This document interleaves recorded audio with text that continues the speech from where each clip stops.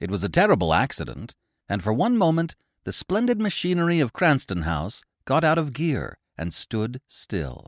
The butler emerged from the retirement in which he spent his elegant leisure. Two grooms of the chambers appeared simultaneously from opposite directions. There were actually housemaids on the grand staircase, and those who remember the facts most exactly assert that Mrs. Pringle herself positively stood upon the landing.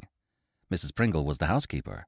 As for the head nurse, the under nurse, and the nursery maid, their feelings cannot be described. The head nurse laid one hand upon the polished marble balustrade and stared stupidly before her. The under nurse stood rigid and pale, leaning against the polished marble wall, and the nursery maid collapsed and sat down upon the polished marble step, just beyond the limits of the velvet carpet, and frankly burst into tears. The Lady Gwendolen Lancaster Douglas Scroop, youngest daughter of the ninth Duke of Cranston, and aged six years and three months, picked herself up quite alone and sat down on the third step of the foot of the grand staircase in Cranston House. Oh, ejaculated the butler, and he disappeared again. Ah, responded the grooms of the chambers as they also went away. It's only that doll, Mrs. Pringle was distinctly heard to say in a tone of contempt. The under nurse heard her say it.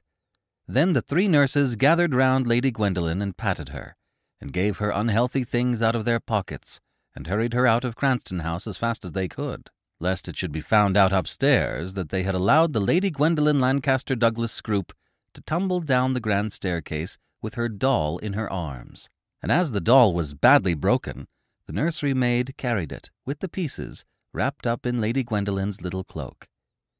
It was not far to Hyde Park, and when they had reached a quiet place, they took means to find out that Lady Gwendolen had no bruises.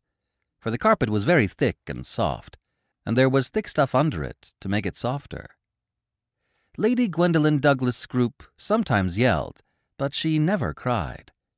It was because she had yelled that the nurse had allowed her to go downstairs alone with Nina, the doll, under one arm, while she steadied herself with her other hand on the balustrade and trod upon the polished marble steps beyond the edge of the carpet. So she had fallen, and Nina had come to grief. When the nurses were quite sure that she was not hurt, they unwrapped the doll and looked at her in her turn. She had been a very beautiful doll, very large and fair and healthy, with real yellow hair and eyelids that would open and shut over very grown up dark eyes. Moreover, when you moved her right arm up and down, she said, Papa. And when you moved the left, she said, Mamma, very distinctly.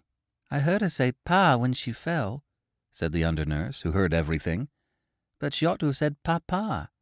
That's because her arm went up when she hit the step, said the head nurse. She'll say the other Pa when I put it down again. Pa, said Nina, as her right arm was pushed down, and speaking through her broken face.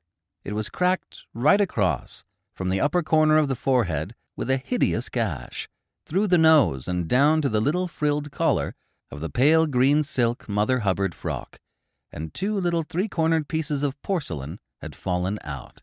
I'm sure it's a wonder she can speak at all, being all smashed, said the under nurse. You'll have to take her to Mr. Puckler, said her superior. It's not far, and you'd better go at once.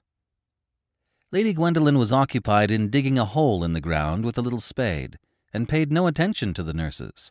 What are you doing? inquired the nursery maid, looking on. Nina's dead, and I'm digging her a grave, replied her ladyship thoughtfully.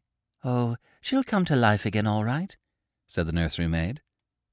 The under nurse wrapped Nina up again and departed. Fortunately, a kind soldier, with very long legs and a very small hat, happened to be there, and as he had nothing to do, he offered to see the under nurse safely to Mr. Puckler's and back.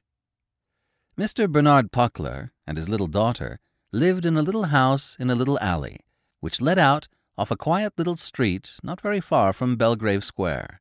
He was the great doll doctor, and his extensive practice lay in the most aristocratic quarter. He mended dolls of all sizes and ages, boy dolls and girl dolls, baby dolls in long clothes, and grown up dolls in fashionable gowns, talking dolls and dumb dolls, those that shut their eyes when they lay down, and those whose eyes had to be shut for them by means of a mysterious. We hope you enjoyed this preview. To continue listening to this audiobook on Google Play Books, use the link in the video description.